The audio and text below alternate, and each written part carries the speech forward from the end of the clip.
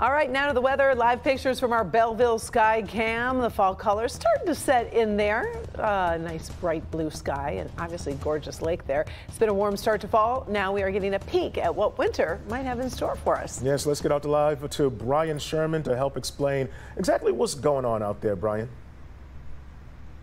Hey there, Damon and Karen. Good evening, everyone. While we've had a very warm last month to month and a half with a few brief cool downs, we've got another cool down on the way, but winter's knocking on the doorstep. And after a few quiet winters across southeastern Michigan, this one ahead could be a little more on the interesting side of things. As of right now, we're forecasting a La Nina pattern to set up as we go from November into December and into early on 2026. A La Nina is when cooler sea surface temperatures move into the eastern equatorial Pacific Ocean, and that brings much more rain to portions of northern Africa. Now, the last time we saw a La Nina winter across the lower 48 was back in 2023 and 2024. So, in a La Nina pattern, the jet stream dives from the upper Midwest down through the Ohio Valley and off the eastern seaboard. Keep in mind the jet stream, that's our storm track, so that puts lower Michigan down into the Ohio Valley and portions of the Missouri Valley in a wetter than average trend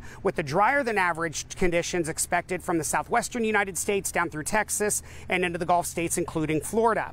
Now, in a La Nina setup, in terms of temperatures, with that jet stream right over the Ohio Valley, the warmer than average conditions also down from Texas, the southwestern United States, into the southeastern United States, and the colder than average conditions in the upper Midwest and into the Pacific Northwest. So, for southeastern Michigan, this is what it could look like. Above average precipitation is possible. Temperatures near or possibly slightly below average, and with that storm track going down into the Ohio Valley, that means it could be a much busier winter for lower Michigan and down into the Ohio Valley. We've still got some time to figure out all the details about this. Right now, over on clickondetroit.com, I've got a much more in depth breakdown on our average snowfall that Metro Detroit sees every month, as well as some of our earliest and latest snowfall amounts. But with not a lot of snow the last few winters across southeastern Michigan, with this La Nina forecast setting up, this may be a much more busier and possibly whiter winter across southeastern Michigan. We'll talk more about that in your 4Warn forecast coming up in just a few minutes. For now, reporting live from Waterford in Oakland County,